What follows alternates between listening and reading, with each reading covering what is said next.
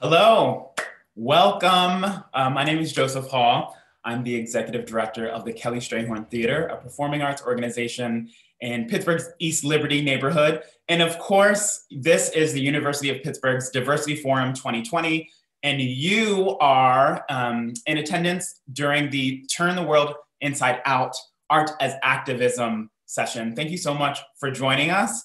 Um, I'm really excited to introduce you to three incredible Pittsburgh-based artists, Brittney Chantele, Deep Deepshika Sharma, and Sarah Huny Young. Um, we're all really in for a treat. Whenever there are artists in the room, you are in for a treat. You have come to the right session. Let's breathe together. Let's learn together. Let's be with each other um, during this next hour and a half. I want to tell you a little bit about how this session uh, will go. Uh, first, you need to know that we will use an extensive vocabulary.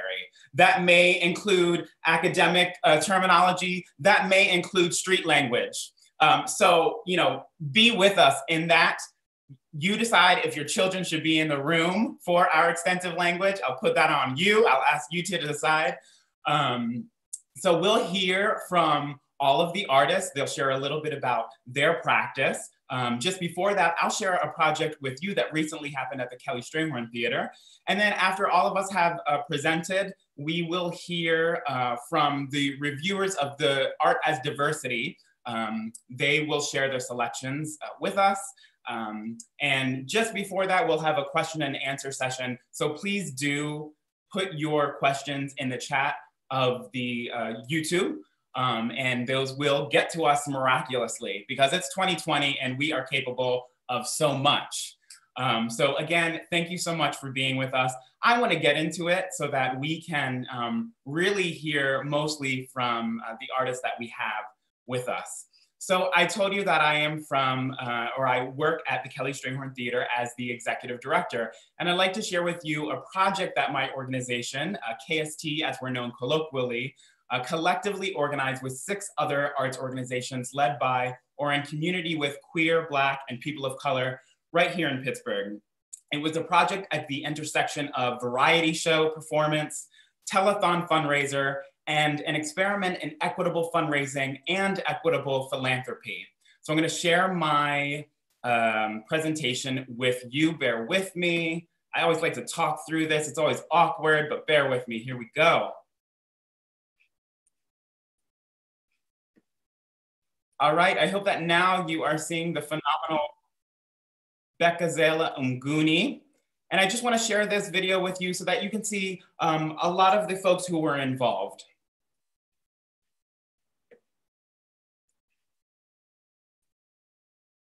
Dear lovers of the arts, we have learned so much during these tumultuous times. What we know for sure is that the arts are critical Every one of us has seen the importance of art. Art brings us joy, it helps us communicate, it brings us together. We, as arts organizations, are experiencing the impacts of the pandemic. Planning, our markers of success, funding, our daily operations are interrupted. How can we fulfill our missions? How can we continue to share the life affirming power of art? We can together. Together. Together we are thrilled to share Hotline Ring. Hotline Ring. Hotline Ring. A virtual fundraiser led by the Kelly Strayhorn Theater. Our missions, our supporters join together to enrich our region. Hotline Ring is a fundraiser. It's a dynamic representation of regional and national artists, projects, and programs. Our vision is for the arts to operate from a space of abundance affordable, accessible, aesthetically diverse, arts with outreach, and with education.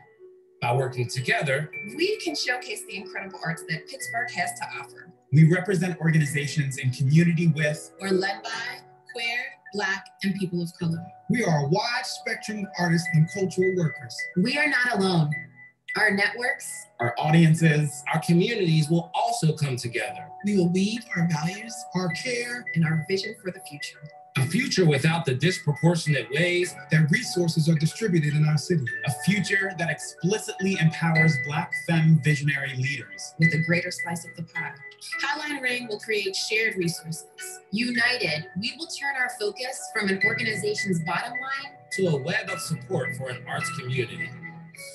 Art lifts our spirits. It helps us survive unknown and painful times. We brought our organizations together so that the arts will persist in our communities. Hotline Ring will help us thrive. Join us. Join us. Join us.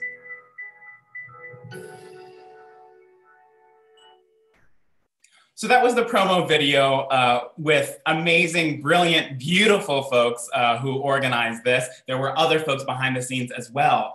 Um, and I want to tell you a little bit about it. So first, I need to share some context about where we are located. Um, so months before current protests, Allegheny County, which is the county in which uh, Pittsburgh is situated, declared racism a public health crisis. The Greater Pittsburgh Arts Council's 2018 Racial Equity and Arts Funding Report showed disparities in arts funding for organizations of color as compared to white organizations. And the City of Pittsburgh's Gender Equity Commission ostensibly reported that this city is the worst place for Black women to live. Now, of course, Black Pittsburgh residents have known this and didn't require funded reports to affirm our lived experiences.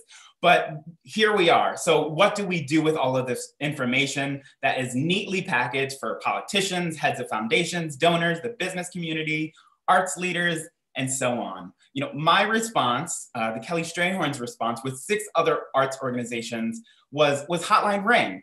Um, and Hotline Ring was a collective virtual fundraiser and a vision for equitable giving in Pittsburgh. When KST realized that hosting our annual in-person fundraiser wouldn't be feasible, um, we immediately explored the idea of a virtual fundraiser. And then we decided that that wasn't enough. We're not alone in this challenging moment. You know, there are so many important arts organizations led by or in community with queer Black people of color that have for generations built this city, built Pittsburgh, and many other cities. We've advanced the culture, raised the babies, supported careers, provided a home, we've cared, listened, celebrated, rejoiced. As the video says, the arts are critical. Art brings us joy. It helps us communicate. It brings us together. So for nearly four months, I'm gonna skip this video. For nearly four months, seven organizations met every Friday at 10 a.m. to collectively imagine a new way forward. All of our organizations fulfill our mission through the arts. We operate year round with paid staff, our budgets are small to mid-size, and we have partnered with and admired each other for years. In this picture, you're, you're seeing some of those partners. This is Sandra E. Woodruff in the foreground uh, with Kelly Strayhorn. In the um, videos, you see Staycee Pearl and Herman Pearl. The smaller screen, you see Aaron Perry.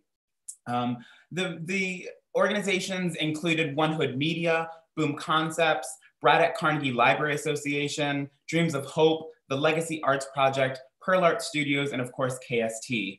And as an explicit way to address the dis disproportionate ways that resources are distributed in Pittsburgh, Black femme-led organizations received a greater portion of the pool that we raised. So we collectively raised um, this money together. Folks, donors uh, could call in, as you see Margot Cunningham on the phone. They could also donate online and you can select what organization you wanted to give to, or you can contribute to the shared pool. So the shared pool of resources were distributed 40% to the Black femme-led organizations. That was the Legacy Arts Project and Pearl Art Studios, and 60% to the remaining organizations, uh, to, to the remaining five organizations. And this was this was loosely based on um, you know the, the statistic that black women in the US are paid 39% less than white men. Uh, and so together we decided to close the gap by committing 40% of our shared pool. I'm sharing this as an example of really what arts organizations can do, what presenters can do, arts organizations that are um, you know, supporting artists, that are kind of the first stop um, for many folks um, to experience culture in their city. Folks are always asking, well, what can I do? What are the resources? Give me an example. This is a small example, and this was an example done by a Black queer led organization. And I just wonder how incredible it would be when this model or a similar model uh, is instituted within white led organizations that have you know, multi million dollar budgets. This is just an example. Uh, we had phenomenal performances by the Dream, Dreams of Hope. Um, you see a youth drag queen here uh, performing to a, a 90 song throwback. Uh, this is the Legacy Arts Project. Um, we had puppet karaoke uh, with Boom Concepts. This work can be fun, it can be joyous. and I invite you to check out the whole seven hour long marathon of an event. Um, I posted the bit.ly at the end of this screen, but you can also go on to Facebook and um, just search for Kelly Strayhorn Theater. Um, so if you're working with organizations, mention this uh, to them. This might be a model um, that can kind of you know, go throughout um, other organizations, presenting arts organizations. So I'm going to stop sharing my screen and I am going to thank you for, for listening to me for a bit. I have a quick shout out. This t-shirt i'm wearing you know activism art as activism on me. Uh, this was created by ayana moore. At that time in 2012 2012 this was created by ayana moore. She was pittsburgh based artist. Now she is in chicago. I'm wearing this as an example that none of this is new. We know that none of this is new unfortunately. Um, and three of these artists are doing work right now in pittsburgh uh, so I want to introduce our first artist, which is Brittney Chantele. Um, Brittney is a hip hop artist and activist. Brittney, I'd love to hand it over to you. Thank you so much, Joseph. Um, peace, everyone, and thank you for having me. Um, I'm honored to be a part of this panel, honestly. Uh, my name is Brittney Chantele. I'm a hip hop artist, visual artist, speaker, and activist. Um, I'm a One Hood media artist as well as a member of Veterans for Peace. Um, a little bit of background on me I'm biracial, I identify as Black, but I do have privilege with my skin being white that I want to uh, make note of. I do not live the same life that my dad or my brother lives. Um, I also identify as a non binary lesbian, and my pronouns are she, her, and they, them, and those can be used interchangeably. Um, I mistakenly joined the military at age 18, and I went to college at Edinboro University um, for criminal justice. And I actually wanted to be a cop. And I was accepted into the Pennsylvania State Trooper Academy. But it wasn't, it was actually the murder of Michael Brown that made me realize I did not want to wear the same uniform as these murderers and be associated with them. And that occurred during my senior year in college.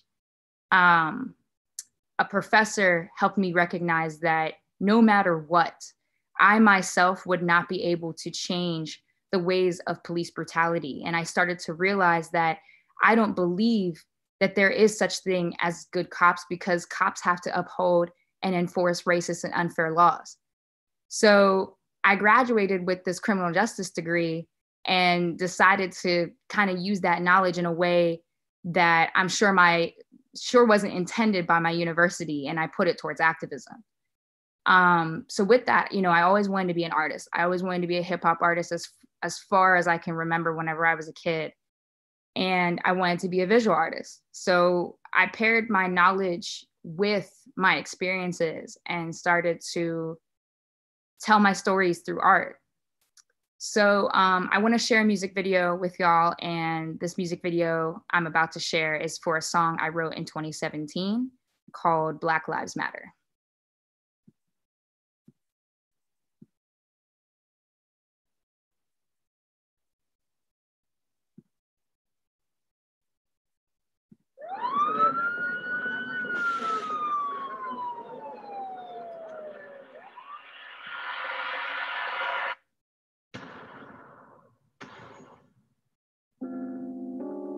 I used to wanna be a cop. Never smoked pot, thought that it would kill my shot. And now I'm seeing all these flowers when I'm rolling around the block. Nightmares of my family friends lying down in chalk. Had to switch my plans. I don't wanna be a cop. I don't wanna wear a vest or a badge or a Glock. I don't wanna be sorted with that sickness acquitted, never convicted. The system makes the murderer a fucking victim. Ooh, so you scared for your safety now. Then don't take the badge, don't accept it. Ooh, so you scared for your safety now. Then don't the. Yes, we have to act the same time small talk. Parents teach the kids never hang out in. And they shall never cross the street without the crosswalk.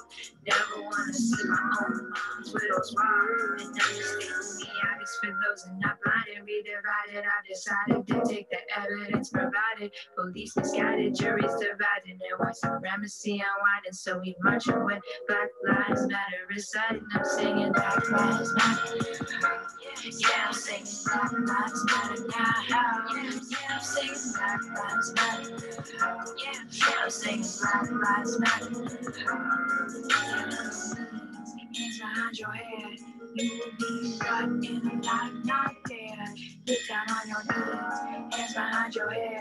you be in a life not dead.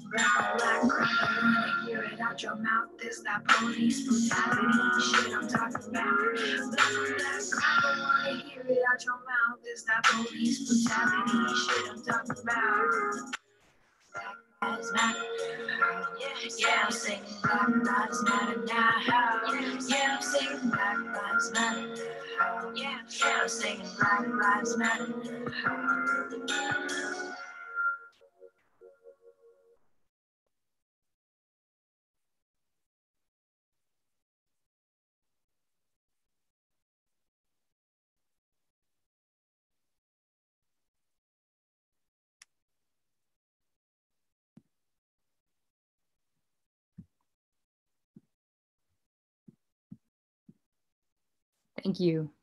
Um, so I decided to put that music video out um, with the with the help of One Hood um, in 2018. Um, it was right after the murder of Antwon Rose II, rest in power.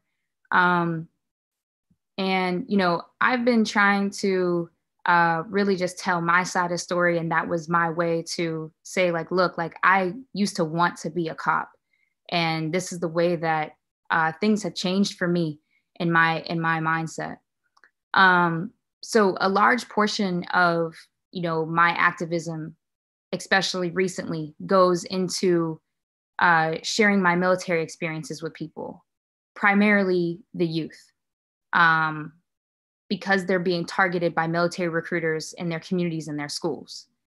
So I aim to provide students with my stories so that they can make a more informed decision about joining. Um, I don't like to tell folks not to join because I don't like telling people what to do with their lives. But I do have to say specifically that after the recent murder of uh, Vanessa Guillen, I'm almost screaming from the rooftops, trying to tell people, especially Black, Indigenous people of color, to not join because they have proven time and time and again that they don't really care about their people the racism, colorism, sexism, homophobia, transphobia, xenophobia, mental illness shaming, sexual harassment and assault is all alive and well in the military. And I experienced or witnessed these things in a place where there are set values and the army ingrains the arm the, the seven army values into your brain at basic training and I'll I'll never forget them loyalty, duty, respect, selfless service, honor, integrity, and personal courage. Yet, if soldiers were really upheld to these values, the long list of isms and phobias and shaming wouldn't exist. Therefore, there's this environment that's created of hypocrisy and thus lack of trust and feeling um, of security. So, um, with that being said, uh, the next music video I'm about to share is called uh, Jedi. It's for a song called Jedi. And it's from my recent album called The Golden Opportunity, which outlines many of my horrible experiences within my time in the Army. And um, this song is about a friend from basic training who called me in the middle of the night asking me to support him through a mental health crisis. And because he wasn't receiving any support on his army base, even though he's he asked multiple times. Um, I do want to give a content warning for this um, that there is mention of uh, suicide and PTSD.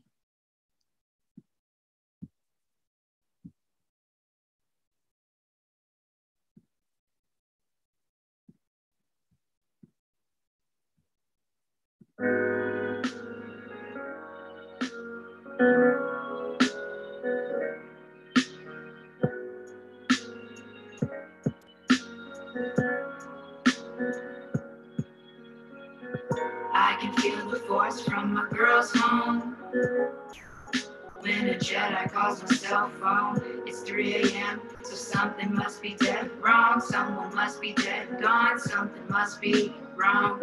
I can feel the force from my girl's home.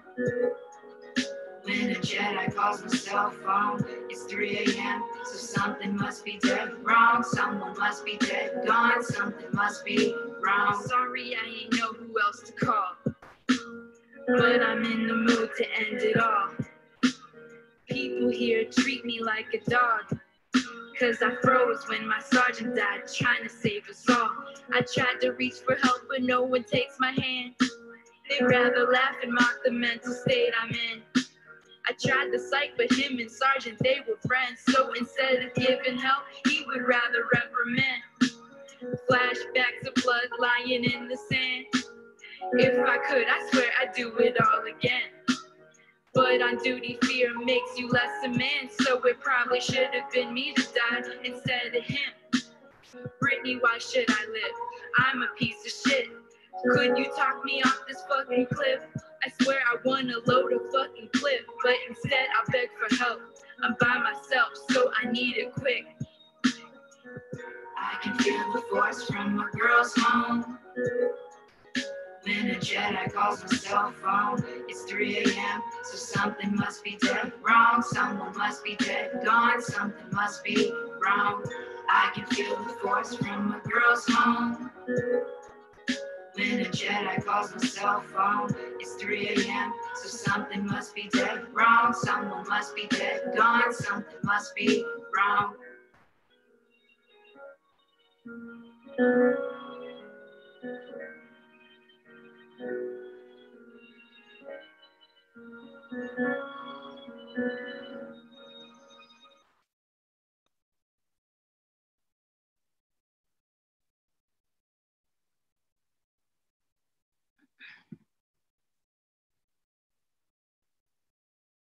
Thank you. Thank you. So um, I'm going to wrap it up with that because I want to leave some more room for the Q&A at the end. Um, thank you for tuning in. Again, I'm honored to be a part of this and to share a little bit of my story and my activism um, or my artivism, um, as I like to say.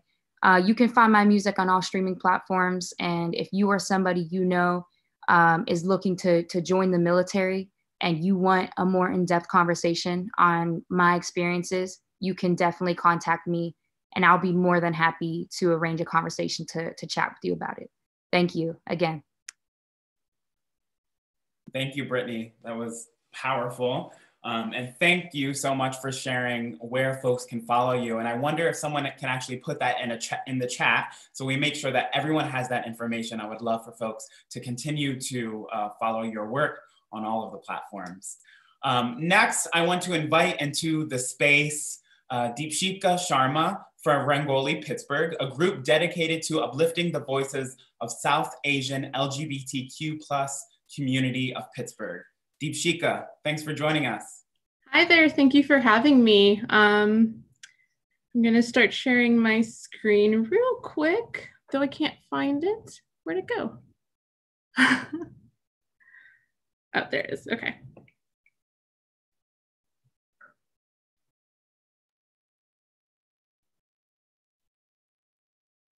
All right. I'm Deepshika Sharma. Um, I am a Pittsburgh native, though my parents came over from India when I was a baby. I, I identify as bisexual. My gender is up in the air right now. Um, and I use the pronoun she, her. I'm a graduate of the University of Pittsburgh 2015. Um, and I'm so excited and honored to be here with you, with you folks. Um, this is super, this is such a cool space to be in. I'm so glad we're having these conversations. Um, so I am a part of Rangoli Pittsburgh. And if you haven't heard about us, you're in luck. Um, officially, we are a community initiative dedicated to creating community for and uplifting the voices of LGBTQ plus South Asians. That is LGBTQ individuals with ancestry from the countries of Afghanistan, Nepal, Pakistan, and India, uh, Bangladesh, Bhutan, and Sri Lanka in Pittsburgh. And for my own sake, I'm going to be using queer to refer to LGBTQ individuals as from this point on, just because it's a mouthful, but I do understand that not everybody is comfortable with the word queer to describe themselves. Um, unofficially, we're a group of young South Asians who were essentially brought together in 2017 and realized that we were here, we were queer, and suddenly we weren't the only queer South Asian people we knew. Um, we choose we chose the word Rangoli for ourselves because Rangoli is a primarily Indian art form that uses bright multicolored sand to create colorful and vibrant patterns. And you can see that our logo is a stylized Rangoli. Um, we thought it was a way to really capture the vibrancy of the South Asian queer community, though we also recognize that a Rangoli is a, you know, traditionally Hindu art form and um, the South Asian queer community involves includes individuals from all over South Asia and from many, many religions. Um, South Asia is an incredibly diverse and beautiful place, and we are open to all of all of our brethren. Um, so as an organization, we largely do community building work, which includes cool panels like this, town halls, movie screenings, writing and education workshops, vis visibility initiatives like our LGBTQ AAPI Day of Visibility, fundraising, and of course, our pride and joy and my pride and joy mirrors LGBTQ South Asian voices. So what is Mirrors? Mirrors is a collection of poetry, photography, short fiction, essays, and art, and um, almost any other kind of, at least for the first edition, print expression by queer South Asians that we put together and released in May 2018. Uh, the content was brought from various queer South Asians across the United States, and it deals with themes of family, selfhood, coming out, and representation. Um, mirrors as an idea is very tied to mirror or to Rangoli as an idea, and which is also super tied to the landscape of Pittsburgh. Um, the three of our three of our co-founding members, including me, met for the first time in the summer of 2017 at Big Dog Coffee in the South Side. Um, at the time, we were part of a different organization trying to organize queer South Asians in or plain, not just queer South Asians in the region. Um, but this was the first time we had met together as queer South Asians. Um, and that's and something that really came out of our first meeting and every time we met after that was this deep desire we had to see ourselves represented not just in community as queer South Asians, but in media also as queer South Asians.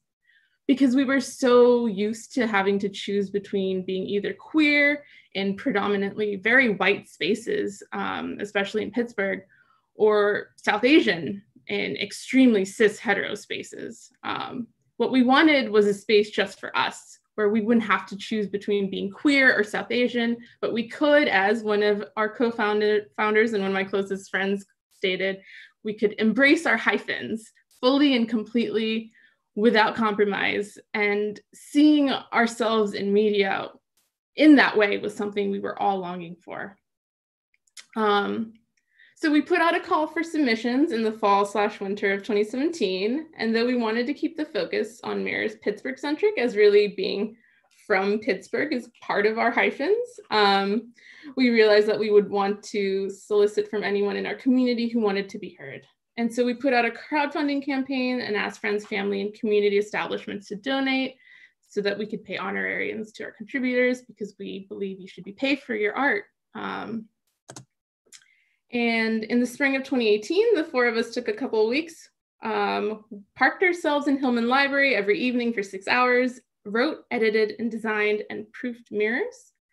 Um, so that was that was that was a process for us, a big bonding moment. Um, and on the screen right now, I have up a spread for mirrors describing a photography project to queerify or South Asianify spaces the artist um, slash photographer inhabits that are othering or that are missing the completeness of his identity. Um, and fun fact, I was in some of these photos, which you can see in the full edition of Mirrors. Um, once we put everything together, we had our launch party. Um,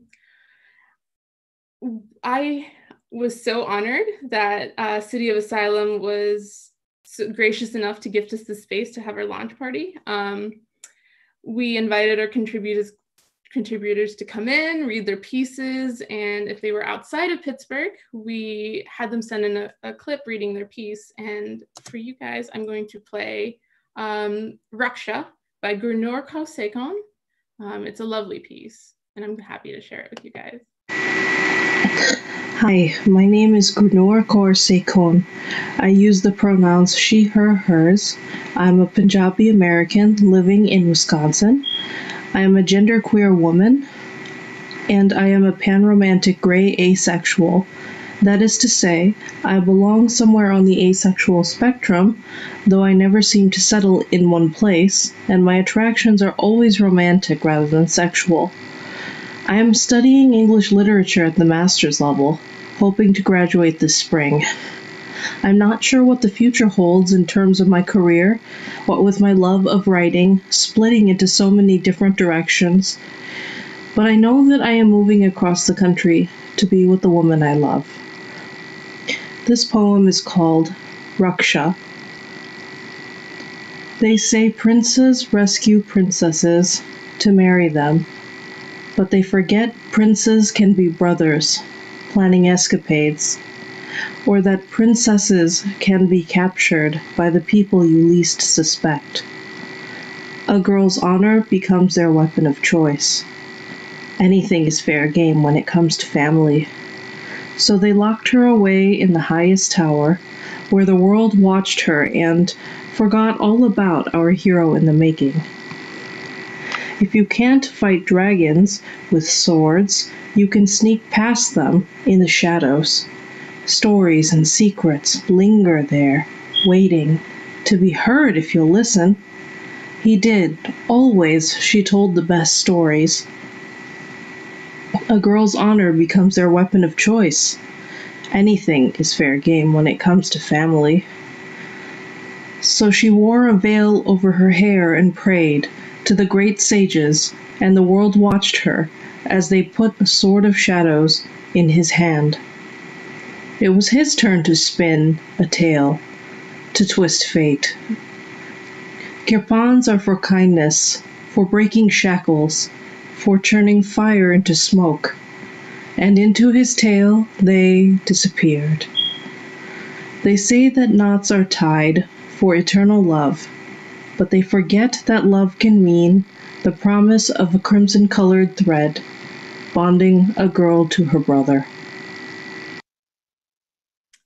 One of my favorite pieces from Mirrors, although I can honestly say every piece from Mirrors is my favorite. Um, so uh, the response to Mirrors was absolutely incredible. It was overwhelming um, from our crowdfunding campaign to the people who came to the launch party to our random to random Instagram tags that we sometimes get when people see mirrors in the library. Um, we've been met with nothing but support and love for the project and Rangoli as a whole. Um, and really, mirrors is what gave us the momentum to start doing deeper, more you know, traditionally activist-oriented work. Um, uh, but I wanted, but I do want to note that doing mirrors was a work of deep, deep activism. Um, our work is to become visible and that for as a niche group as we are can often mean simply existing and creating the space for us to be openly queer and south asian. That is activism. Creating space for ourselves creating space for others like us when the world is often against us is a radical act. Art and not just things like mirrors i'm talking about all queer art and making that art visible and public and just as loud as straight art is or white art is or all these normative art forms are is the lens through which we can gather and communicate and become a community together. I want to note that we're not the only ones doing this kind of work, nor the first, and that we're working in a long tradition of queer art expression and expression, and especially zine making, um, which really forms a cornerstone of queer art we felt like we were taking on a mountain, but we were really part of a large fabric of gorgeous queer expression that goes back decades. And in the case of South Asian queer art, hundred, hundreds of years. The momentum from Mirrors helped us put together bigger things that went just beyond producing art. For example, having the city and state declare June 1st LGBTQ AAPI Day of Visibility in 2019, because that day sits between the crux of AAPI Heritage Month, Asian American Pacific Islander, um, and Pride Month. And then this year for Day of Visibility, we used that momentum to host a drag show on Instagram featuring Asian and Pacific Islander drag artists from around the world and raise funds for Sisters PGH and Apala um, and some Apala Pittsburgh and uh, some bail funds because this happened was happening at the very beginning of the protests. Um, many of the queens in the show were South Asian, are South Asian, reclaiming South Asian dance and music for themselves as queer individuals. Cultural expression helps define who we are, and cultural express, expression is so important in diaspora spaces as well. And so much of that cultural expression is rooted in art. Reclaiming art, creating our new art, and redefining art by us, for us is where this starts this activism, but it's definitely not where it ends for us. And we we hope to keep doing this um, as long as we can and keep an eye out because the second edition of Mirrors will be out soon. And that's my that's my bit. Your bit was great. Thank you. thank you, Deepshika. Thank you so much for sharing that with us. There was a question that I just want to pose to you quickly. Is mm-hmm. Mirrors part of the Hillman collection? This person says it seems perfect for the archive or for research. I believe that it is actually. Um, we were part of a zine fair in 20, 2019, I think. And um, some professors from GSWS came around and actually got a copy of Mirrors for the collection. So you can find it both at Hillman Library and Carnegie Library, Pittsburgh. And Hillman Library is um, the University of Pittsburgh's library, uh, but you said it's also in the uh, Pittsburgh Public Library, uh, Carnegie. Uh, well. in the, at the main branch, yes. Yeah. Awesome. Well, thank you. Thank you for um, being in the space with us. Thank you for um, having me. And I want to introduce uh, another artist who is here with us and will be sharing, uh, Sarah Huny Young, a visual artist and photographer. I want to immediately hand it to you because I know you have some great things. Thank you so much. Thank you for having me. I want to preface this with saying I'm very nervous. I'm nervous. I'm not quite used to talking to a computer instead of people as of yet because I do a lot of people facing work. But my name is Sarah Huny Young. Call me Huny for short. I'm a visual artist and a photographer. I'm originally from New York. Go ahead, Harlem. Um, but I've been in Pittsburgh for about six years. I'm very happy to be here. Uh, I'm going to run through a few of my projects for you. So I'm going to share my screen.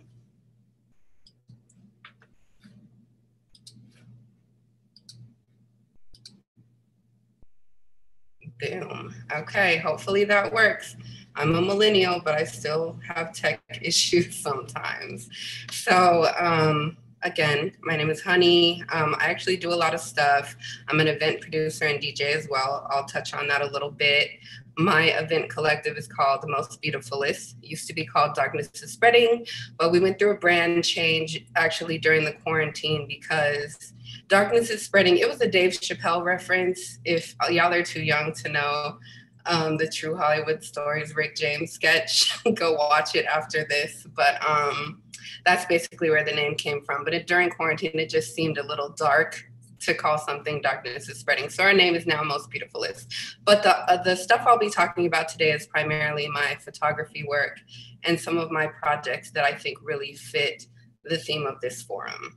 Um, so let me hope that this works correctly. Um, my artistic practice as a creative director, photographer, and documentarian is defined by using portraits and video to explore identity, primarily Black womanhood and queer personhood, and to challenge a society that remains harsh to the marginalized and the intersectional. I consider the individuals I work with to, to be my co curators as well as my muses and often shoot on location across the country in personal, intimate spaces of their choosing.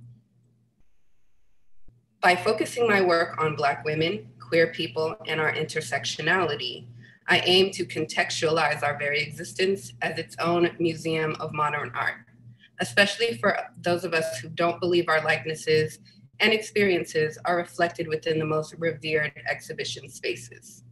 Our communities and experiences aren't often enough reflected in the ongoing historical annals of our country. We deserve our story to be told and to function as a time capsule of activism and revolution in these transformative times. Uh, the first project I'm going to talk about is probably my most well-known one. It's called American Woman. I've been working on it since 2016.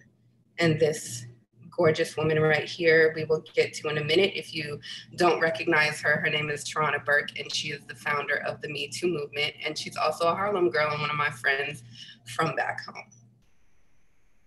American Woman is a portrait and interview series documenting Black women in America. Launched in July 2016 and currently spanning seven US cities, the series pushes back against the stereotypical archetype most people picture and the characteristics most associate with the term American woman. It's about intersectionality, womanism, our complex relationship with this country, and the labor we are tasked with as its most resilient brilliant population. So again, I've spanned um, seven cities thus far. I'm going to walk you through a few of the portraits within this uh, project, starting with Pittsburgh, PA, of course. This gorgeous goddess right here is Liana Meniz. Um, she's done a lot of work. A lot of you might be familiar with her work with the Good People's Group. This is her portrait from American Woman, wearing beautiful jewelry by Taranay, by the way who's an amazing art artist here in Pittsburgh as well. This is Dr. Imani Walker from Los Angeles, California, Charlene Carruthers in Chicago, Illinois, and Queen Cherice Harrison Nelson in New Orleans, LA. So what's important to note about American Woman is uh, I travel to every city. Uh, some people think that I like sent photographers out. No, I travel to every single city to shoot these portraits and to interview these women. Some of them I knew before, some of them I had just met or were recommended to me. They all picked what they wanted to wear. They all picked the location in which their portraits would be taken. It was very much so when I say that my my um, the people that are in my projects are my co-curators, I mean that very seriously. Um, so I'm pressing next on the wrong computer. I'm I got two computers going on right now. This is Denisio Truitt from New Orleans, LA.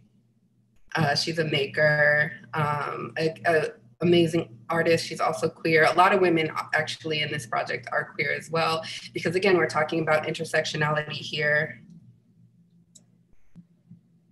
This is Raw Curry from New Orleans, LA. I mean, Louisiana, Lord. Danny B from Atlanta and Morgan Bryant from, from Atlanta as well. A little thing about Danny actually, um, a hurricane actually took her entire house about a year after we shot these portraits. So it's not only an honor to have her be a part of this project, but it's also it, it, means a lot to her to have the photos that we took that day because unfortunately almost everything you see in this photograph was lost so i consider american woman to be a time capsule project i would love it if 20 30 50 years from now if we still exist lord get rid of donald trump um, that people will be able to look back on this project and map exactly what black womanhood looked like in america during this time so again, we're back to Tarana, um, again, who is the founder of the Me Too movement. She's an extraordinary woman. Her work is phenomenal and very much needed. She has literally moved the needle of progress forward so thoroughly in just the past few years. Um, we actually took these photos in Harlem, right around the corner from where both of us actually lived. Um, she still lives there, I obviously don't. And we um, we just wandered into the bodega. If you've ever been to New York or you're from New York, you know the bodega is the spot. And she basically was evoking um, Breakfast at Tiffany's and doing her own take on that Audrey Hepburn classic look. And I actually have a video I'm going to play for you where she explains that further.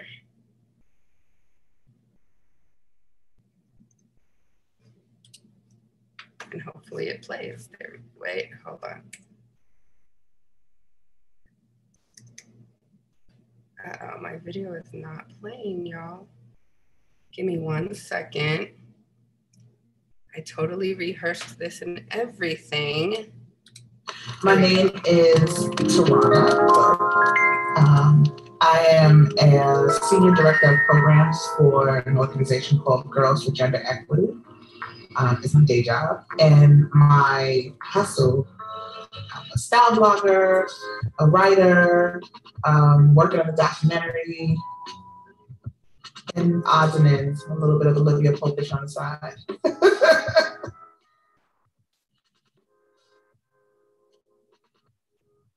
not me. That's the first thing that comes to mind, not me. Um, I think of white women when I think American women. I don't think of black women or people of color. I think um, blonde hair, blue eye, you know, pearls and and little black dresses and you know, apple pie and gingham and of those things when I hear American.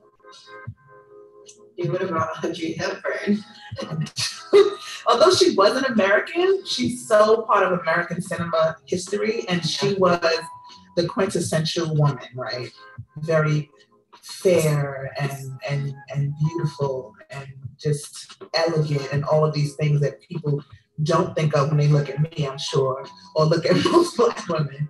But I wanted to do a play on the idea of delicate and elegant and and um, beautiful, and use her as an example. Like I love to dress, I love style, I love things that I think are elegant and beautiful. But you know, my bamboo earrings are beautiful to me, but most people would look at them and wouldn't say, "Oh, she's a delicate flower. Look at her." you know I mean? And so I wanted to kind of play with the idea of this delicate, beautiful, with this kind of like person who was not traditionally beautiful and who was not traditionally thought of as delicate in the hood. This is my neighborhood. This is where I'm from. This is where I eat. This is where I hang out. Um, and if I was coming home at five o'clock in the morning, I probably would be looking at Jimbo's to something to eat. so, you know, that's the scene. She's like early morning looking at this kind of thing. So, yeah, that's where that came from. My name is Tarana, and I am a funky, fresh, dressed to impress, ready to party, round the way girl, American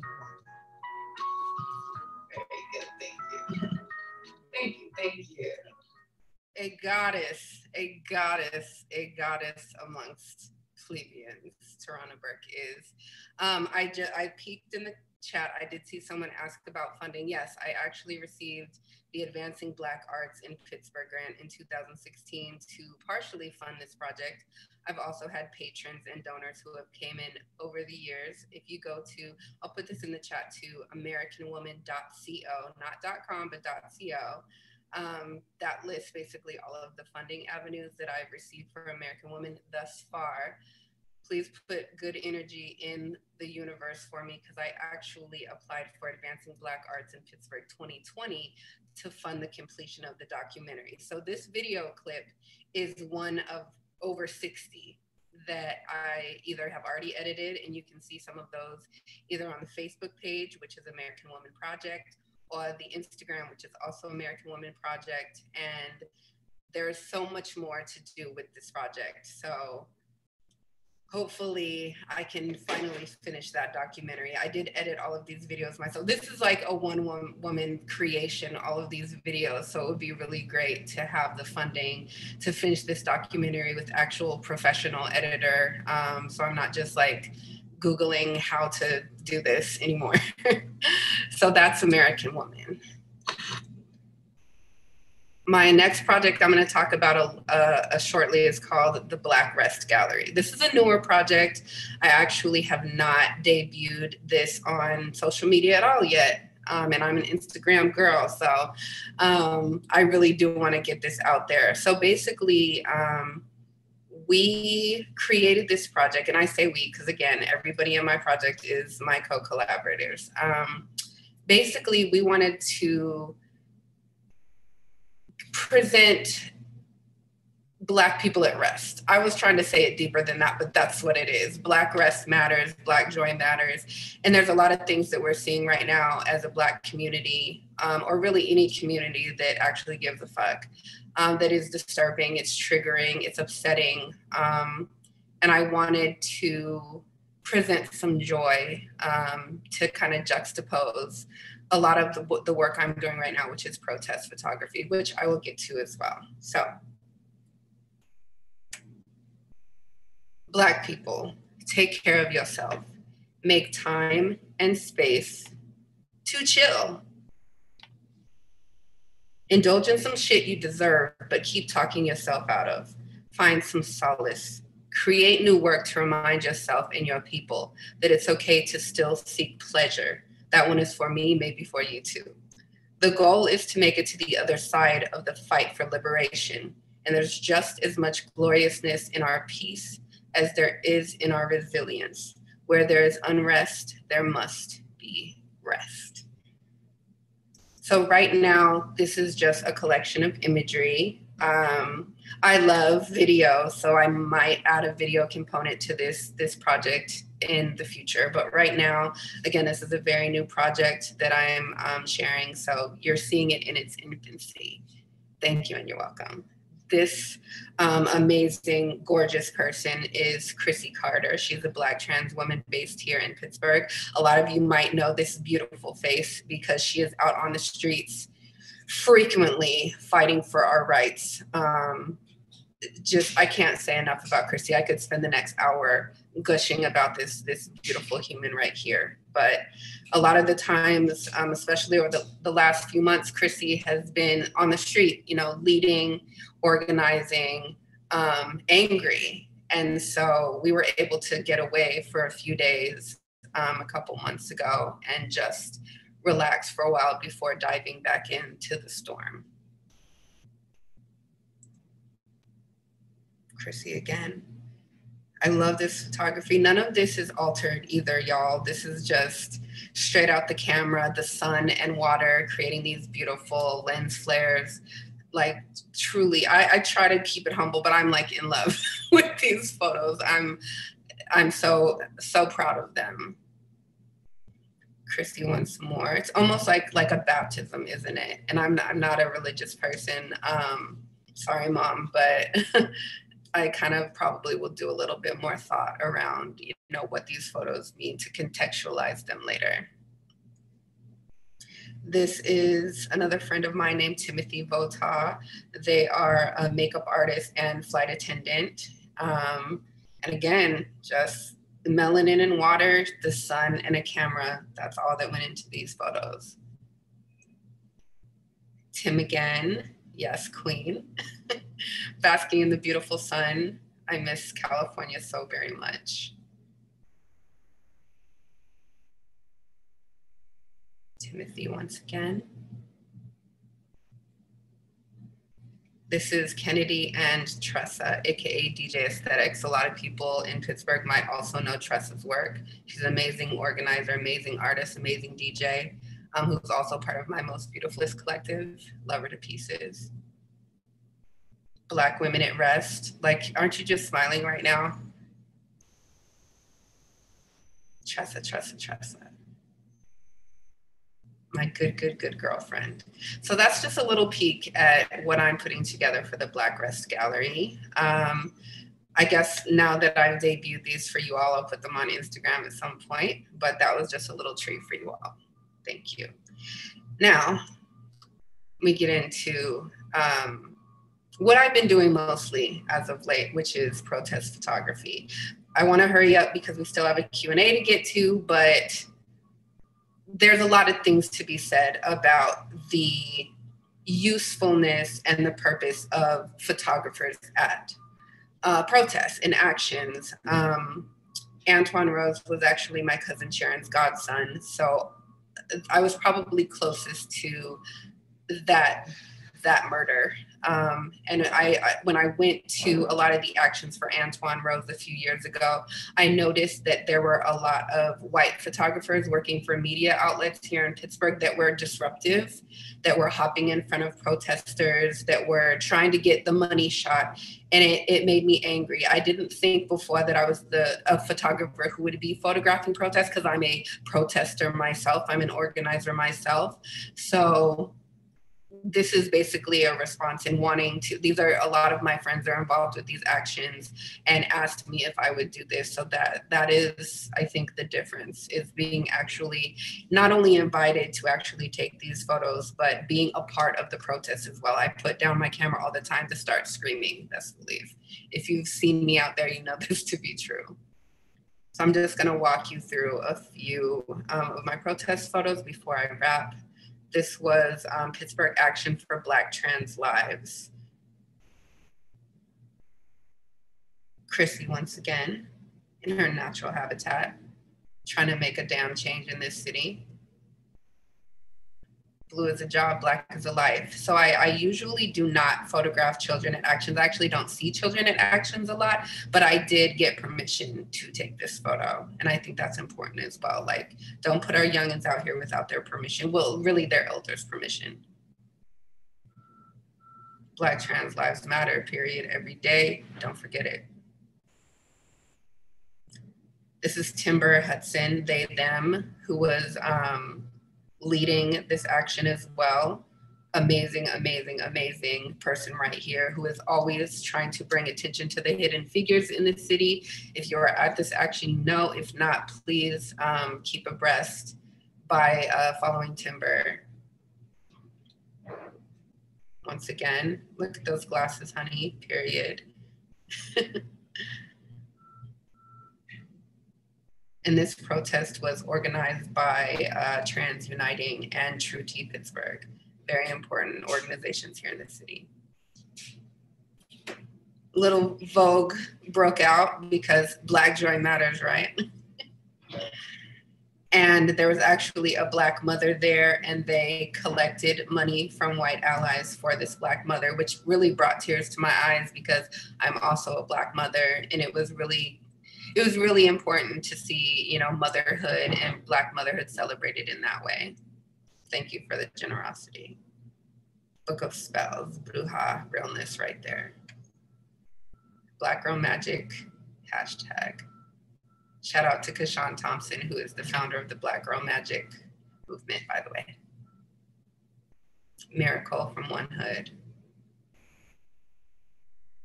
So there was a pinata that said cops and Klan go hand in hand, and it was burned on the ground. And I love to see it.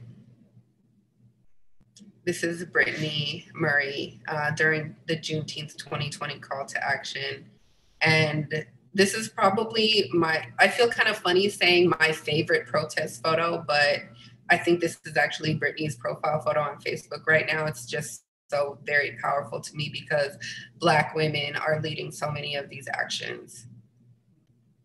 Black women lead. So that's my time. Thank you so very, very much for allowing me to walk you through my work. I don't know where my mouse is to stop this share. Help me. Oh, thank you. Wait, there we go. Okay. Thank you, y'all, for your time, your attention, and I am going to hand it back to you, Joseph. Thank you, Huny, so much. Um, I have to say that all of you are getting lots of love on the chat, and I think it's always important to share that love uh, because doing this, sharing, um, it's it's not just art. It's it's uh, you know, it's your spirit, it's your body, it's your mind, it's so much of you. Um, so it takes a lot to to do the to do what you all just did. Um, so Brittney, when you were um, presenting, Ivy and Mario said, powerful song. Antonio said, thank you for raising awareness. Rachel said, thank you for sharing. Uh, Deepshika, when you were presenting, uh, Ricky said, this is great. Thanks for sharing. Gretchen, amazing work. Paula, beautiful work. Huny, Gentel says, honey. um, Antonio says, bodega nostalgia. Bill says, love the Tims. Um, there were lots of folks uh, reminiscing about New York during your session. So thanks for bringing us there. And, you know, I have to say, um, I just moved back um, to Pittsburgh from New York, where I lived for about six years in the Bronx. Um, and one of the things I was looking most forward to uh, was to go to Darkness is Spreading, was to dance, was to shake, was to sweat, was to be in community. Um, and so, you know, I just danced by myself. Here we are. Um, I want to do uh, another shout out for folks who weren't with us before. I just want to say the shirt by Ayana Moore, done in 2012 white supremacy acquitted Zimmerman when it shout her out. She was a, um, based in Pittsburgh. Now she's in Chicago, a visual artist. I have some questions, and I invite any of you, all of you, um, to think about them and, and answer them. And folks who are on the chat, please um, feel free to submit your questions as well. Um, I think, you know, as I was kind of getting to before, art is, it's so personal. I feel like usually no matter what, but you know, can can personal art with no explicit political or social content, can it be activist? Um, or if if the personal is political, does it even make sense to think of art in terms of personal and political? Should you like call on one of us, or should we just leave it? I'm open to whoever responds, whoever feels drawn to respond. I'll, I'll respond. I think all of my projects that are not for clients are personal. Um, and I think just because I'm a Black queer woman living in America, I think that that informs the fact that my personhood is politicized if we want to keep it 100 so yeah i absolutely think that that personal projects can can be political, that they can be activism. Um, I don't actually usually call my work activism. I let other people do that because I don't really like to define my work any more than I already do, which is honestly a lot. Um, but I think it really just depends on the intent and who your audience is. You know, sometimes with art specifically, you got to let um, people decide what it is so, but I, but I think the work that we're presenting is overtly activist, and, and and it also it, like we all have like deep personal ties to this work as well. Obviously. Yeah, art is so much of an exchange, and whatever your intention is, you know, the viewer, the consumer, the person participating on the other end bring their own kind of associations and experiences to it. Um, Deepshika and Brittney, I wonder if you have um, a response to that, kind of in this realm of personal and political um, in terms of your art. Um, I, I don't think I can say anything better than Huny just did because that was very well articulated. Um, in when I'm not doing work with Rangoli, I'm a writer and a poet occasionally, um, and I think until I put that out there in the world to see, it stays political, or sorry, it stays personal. Um, but, you know, I think the very act, like Huny said, of me being in a body that is politicized, when I put that work out there, it becomes political um, because I can't ultimately control the way people, you know, interact with and see my work and also me.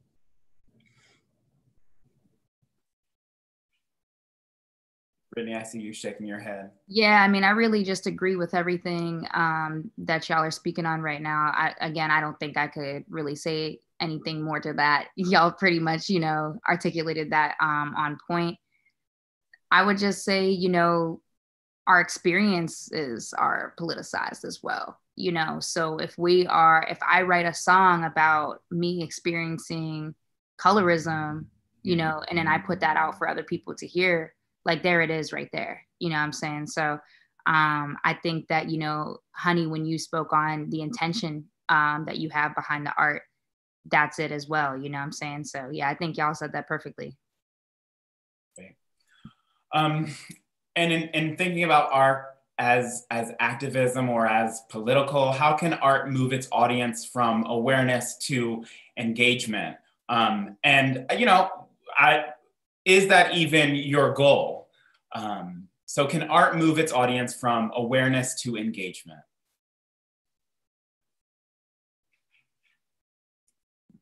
Yeah, I mean, I'm I'm gonna say yes. Um, and there's so like I think that that's so layered, right? There's so many ways that that can manifest. Um, you know, I think that there's a lot of work within multiple mediums, specifically like I'm looking to move my uh, my album into like a play, so that you know I have this album about my military experiences, and and I'm hoping that youth listen to that and they can take oh, okay, you know she's experiencing all these things. I might need to rethink about joining, but I feel still like an album doesn't speak to the full experience and I need to move that into a play. And I think with that, that changes that engagement, right? Like there's like different things that I can do in that setting that I can't do through Spotify. You know what I'm saying? So I think that that that can change and and and morph uh, depending upon what you're trying to to get out of your audience. You know.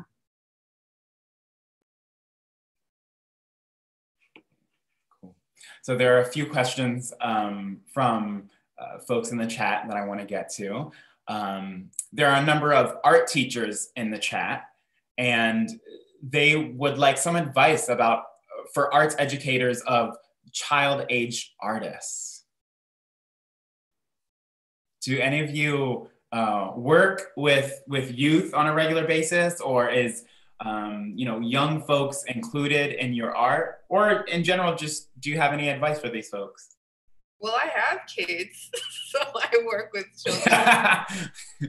I have two kids. I have a son and a daughter. Um, honestly, my, so I don't really work with children in my work because a lot of my work is is so politically charged, and I want, like with American Woman, for example, 18 was mm. youngest. And actually, nobody is even 18. I think the youngest American woman participant is like 22 or something like that. Because I want I want them to be an an adult and a, able to really like say I give permission for this to be out here on this public level and exist forever. I don't think a child should be able to make that choice. But my daughter is in American Woman. She is the only child in it. Um, her portrait um, actually debuted at Manchester Craftsmen's Guild when I was part of the Action Movement Revolution exhibition last year. Um, as far as getting well, what, what is exactly the question? Getting kids engaged in art, or do we involve kids in our art? Yeah, I, I am going to take it as a question about um, child age artists um, and their relationship to activism, perhaps. Um, how can kind of art educators guide a child aged artist um, who may have inclinations for activism or just a, an art teacher who themselves has inclination for you know greater equity in this world I think that's actually an excellent question, particularly my daughter. My son is seven, so he his activism is like um, backyardigans. um, but my daughter is 15 um, and she's actually really well informed like not only just the stuff they're talking about in school itself but she she like watches the news like for real mm. I was, she's been doing that since she was like 10 years old. Like she will literally turn on the news. So she, these kids are really informed. They really like, what do we call them? Generation Z, Generation Zoom. Love them. Um, they're really, really um, informed. And I think that letting them lead the conversation is like a good first step. Like what kind of change do you want to see in the world? They have a lot of opinions. Like we we have to stop treating kids like they don't know anything. They know a lot um, mm-hmm. especially with like how into the internet they are. They're they're like being educated on a level that we that i can't relate to. I mean i'm a millennial but i'm i didn't have the internet when i was like 10 um, so I think letting them lead, like my daughter, I'll give you an example. My daughter's class a couple years ago, they were able to create their own apps. They didn't actually program it, but they could come up with the concept for it, like, and kind of take them through the steps of where it would be right before it was going to be like designed and built. And my daughter, on her own, I didn't even like give her any pointers. She came up with an app that would basically allow anybody organizing a protest or action mm. to have people as security without involving like the cops, you know, for the safety of protests. And my daughter came up with that by herself. So I think letting the kids like talk to the educators about what do you want, what are you interested in, what are your concerns, and then kind of building the project from there would be a really good start. That's fantastic. Thank you. Thank you for sharing that. And thank you to your daughter. Hello. it's amazing. Um, this next question is uh, for Brittney. Um, can you talk about your experiences dealing with colorism and sharing your work with people? Uh, this is from the chat. Yeah, totally. You know, this is a, a question um, that I think I could talk on for a really long time. Um, the experiences run deep, uh, you know, from childhood through my artistry and through current time. Um, you know, I when I first started to share my work in Pittsburgh, um, a lot of my work uh, spoke on the fact that I was Black. And um, there are some people who will see me and they immediately go, You Black. And then there's other people that will see me and they legitimately believe 100% that I am white. Um, and so I was having difficulty talking about the subject that I was talking about, um, specifically in my poetry, because when I when I first started sharing my artistry, I was really just a spoken word poet. Um, it really, and and again, I could talk on this a long time, and I think that this this it may maybe you know I need to step aside and do like a panel discussion on colorism within the arts in Pittsburgh. Um, but it really wasn't until uh, One Hood approached me um, and asked me to be a one hood artist that I felt really supported in the way that I identify and um, really supported in the fact that they would have my back when colorism presents itself. And, um, you know, I'm for that, I am ever grateful and they constantly have my back. And I think that that's something that um, without that, I don't know how things would really play out you know like i would still be sharing my art and, and things like that but um, to have that kind of support in times that i was receiving so much hate and and uh, yeah i mean really so much hate um, is just so important you know? So um, that's a it's a heavy question and i know we're running out of time. So i would love to to you know talk with people further on that uh, maybe in a different form that's great. Well, thank you so much for sharing what you did, Brittney. And I'll just offer I am also a, a, biracial person, white and black, and this is what we can look like. you see Brittney, you see me. There is a spectrum to blackness, uh, just as there is the spectrum to uh, folks who live in Pittsburgh. Let's not believe in this binary of black and white. Pittsburgh has such a robust community, uh, and we all deserve to be seen and heard. And that's one reason why we have these phenomenal artists here today. So I'm gonna go uh, to one more question from the chat. Let's see what's here. How do we slow, this is a big one. How do we slow the exodus of local artists and allow them to thrive here? If, if, if we can't tackle that, another question I have is what do you need? As artists, what do you need? Because I think maybe this is part of that question. And this is a question that's being asked by the National Performance Network a national performance network, um, who's asking artists, what do you need? What do you three need um, to really thrive, specifically here in Pittsburgh? Uh, oh my gosh. I could talk so much about this. Oh my God, but we don't have time. We don't have time.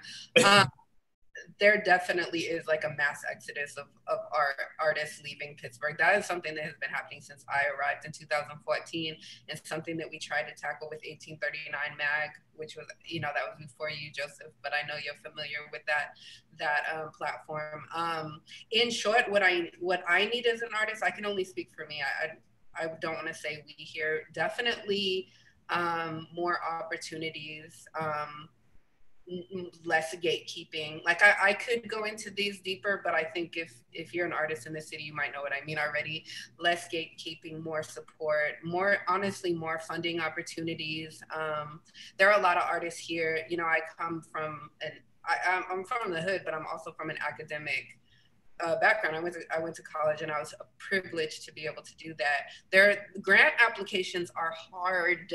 Like even the language that you have to form around pursuing funding in this city is is a challenge for a lot of people, and they should not be shamed for that. They should not have to conform their language or the way they communicate about their own personal art. So I think that if there were more funding opportunities um, for people to be able to buy the materials they need and produce the products projects that they're dreaming about.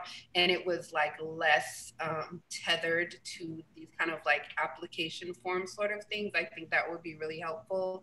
I think what i've seen a lot of people do already um, since the protest started with like literally like trying to pay black people reparations I'm all for that. I'm definitely pro reparations. Um, I'll, I'll let Brittney and Deepshika jump in because I could like literally talk for an hour about this. Deepshika, what do you need? Oh man, what do I need? Uh, I can feel that about how difficult um, grant funding is. We were lucky enough that Mirrors, one, we were able to crowdsource everything, but this time around we were trying to look into getting grants and just it the process if you're not familiar with it already is so it's awful. It really is. Um, and another thing we we were we've been struggling with is finding space to be in that's also you know accessible monetarily. Um, so that we can you know put together readings or drag shows or this and that um, and not have to sort of dip into the money that could be going to our artists. Um, that's something that you know we think about a lot. Yeah. And brittney um, i want to definitely ask you what do you need? I'll tell you straight up right now i need $50000 to make this album into a play. And i have been looking for this money for over two years now and i have applied and applied and applied. I've had people very in in, in very high positions uh, edit my grants for me and like look it over. And I've applied and applied, applied, and I still have not received uh, the funding that I need to make my album into a play. So I need fifty thousand dollars. If anyone knows someone, hit me up. yeah, I think it's important, you know, for us to say what we need and what we deserve.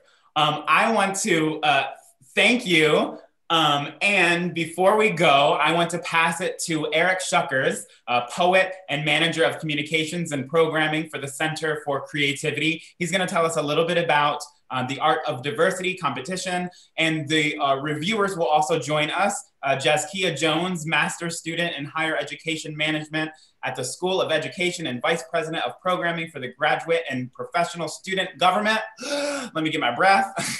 Betsy Farmer, Dean, School of Social Work, and Gemma Jiang, Director of Organizational Innovation, Swanson School of Engineering. Eric, welcome. Thank you. Thank you so much, Joseph, and thanks to all of our panelists today. It's been a really fascinating conversation. I'm really grateful to everybody for taking part. Um, the Art of Diversity Showcase and Competition, um, which we held in collaboration with the Office of Diversity and Inclusion, received almost 200 submissions from the university and from the greater communities, from university faculty, staff, students, and alumni, um, as well as artists, musicians, performers, and writers across the region. Um, submissions ranged from paintings and drawings to poetry and spoken word. We had film and theater pieces, personal essays, music, dance, um, and fabric, digital and installation art. So we had a really um, wonderful representation of creativity across the board. It was really a dizzying, inspiring, um, and deeply moving representation of creative work and the Center for Creativity and Office of Diversity and Inclusion are so grateful to all the creators who shared their work and to our review panel who took up the challenge of absorbing this work and determining our winners and honorable mentions. Because of this uh, extraordinary quality of the submissions, that job was not an easy one. You can get an idea of how difficult it was by visiting the gallery pages at the Office of Diversity and Inclusion website where all of our entries live and doing it yourself. We have a People's Choice Award that will be determined by your votes. So check out those galleries and vote for your favorite submission. Voting is open until midnight tomorrow and the winner will be announced next week. Today, we're announcing three category prizes and our Reviewers Award. Because the categories often overlap, we considered all the entries for each category. Our first category is Cultural Identity, where we looked at personal experiences and journeys and how those experiences and journeys intersect with ideas of cultural community. And presenting the honorable mentions and winners in this category is Betsy Farmer. Betsy? Thanks, Eric. Um, so I just want to make it clear that I'm presenting these, but the entire review group looked at them and had input on who actually um, were selected as the winners. And it was incredibly difficult from among the, as Eric said, almost 200 submissions that we received um, and such a diverse range of submissions. So this was really challenging. But um, we, as a group, selected two honorable mentions and one winner in this category.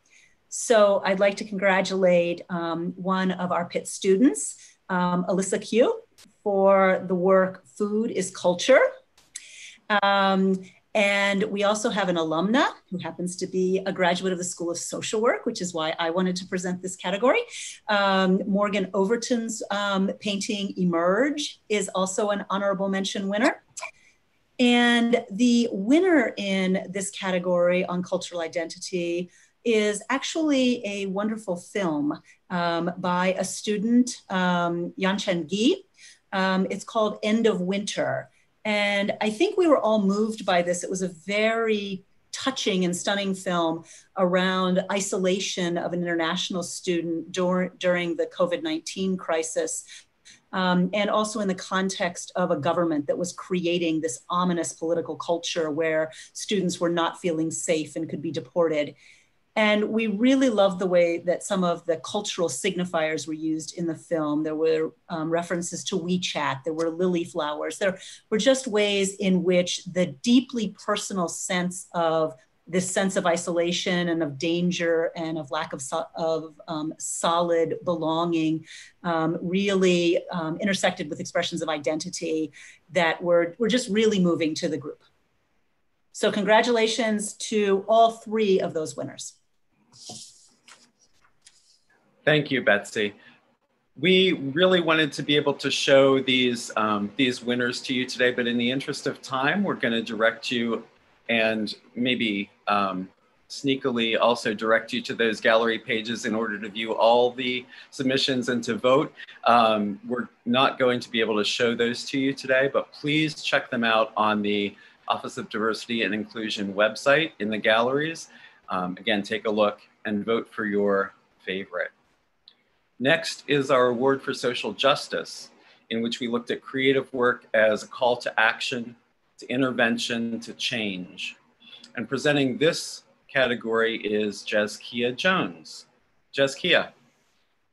Thank you, Eric. So similar to Betsy, um, we have two honorable mentions that we will be presenting awards to as well as an overall winner. Our first honorable mention is a University of Pittsburgh student. Their poem, poem, The Black Struggle, highlights the inhumane brutality against the Black community while also calling and symbolizing the importance of unity. Help me congratulate Dole Monfiston. Our second honorable mention is another University of Pittsburgh student. Their slam poem, Our Boys, grapples with the way that young Muslim boys in this country are subject to criminalization based on the racist and Islamophobic assumptions. Congratulations, Juhi Faruqi, who also goes by the artist name Shoes. And our winner of the social justice portion of the um, Art of Diversity Showcase is um, a faculty member of Pittsburgh, their monologue, Chant, is a powerful representation of the search for meaning and strength and the uncertainty and violence that surrounds social justice and racial injustice in this country. It exerts a somatic power as viewers are made to both feel the nece- necessary and physical stress, along with the hope that comes from standing up to injustice. Congratulations, Bria Walker. Thank you so much, Jeskia. Our final category is sociocultural topics, where we looked at submissions as wrestling with broad contemporary issues of society, culture, and diversity in ways that illuminated those issues in unique and creative ways. And presenting this category is Gemma Jiang. Gemma? Yes, thank you, Eric. So like the previous two categories, we also have two honorable mentions and one winner. So the first honorable honorable mention is a University of Pittsburgh staff member, Jasmine Green, and her piece is called Thrift.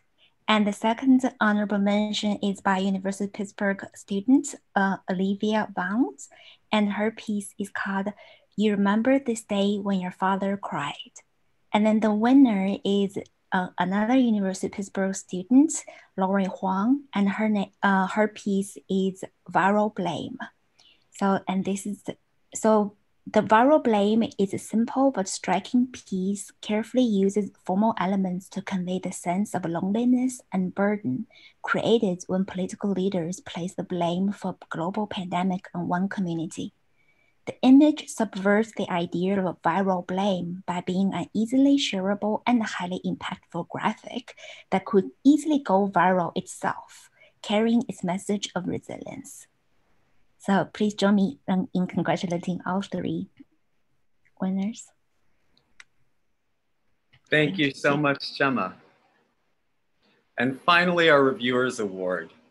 We assembled a short list of entries that surprised, moved, haunted, or delighted us, but which, for one reason or another, were not selected to win in the other categories. The full short list for our Reviewers Award is going to be available on the Art of Diversity Showcase and Competition webpage. Um, but our Reviewers Award goes to a music piece by a local artist that we just couldn't get enough of, and which we hope you'll hear tech willing as we end today. And that is Queen, featuring Q the Guitarist by local artist Inez. And with that, I'm going to turn things back to Joseph to wrap us up. Joseph?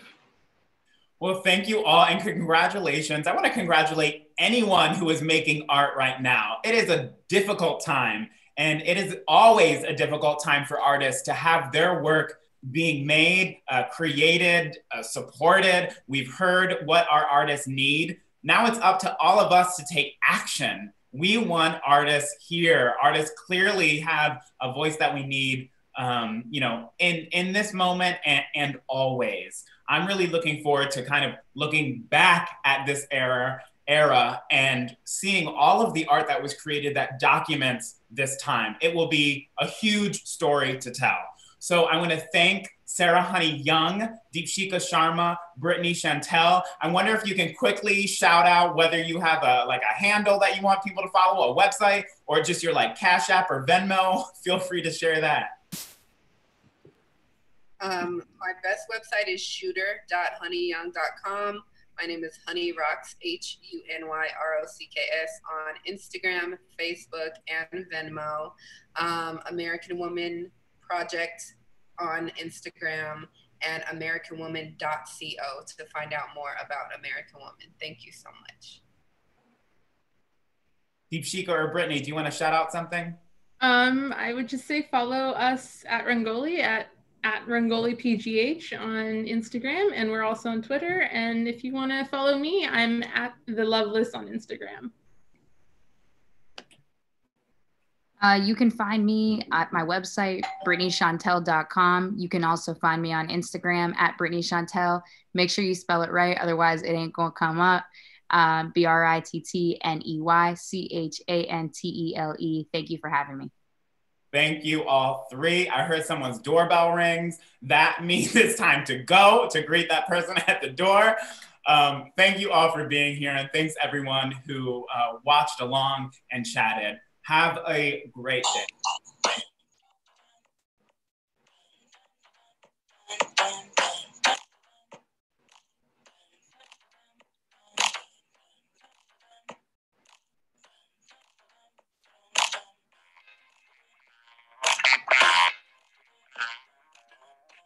Thank you.